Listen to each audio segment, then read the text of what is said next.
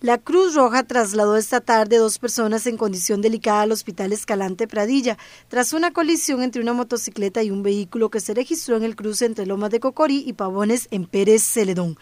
La Cruz Roja trasladó a estas dos personas identificadas como una mujer de 16 años de apellido Blandón Vargas y un hombre de 39 años de edad.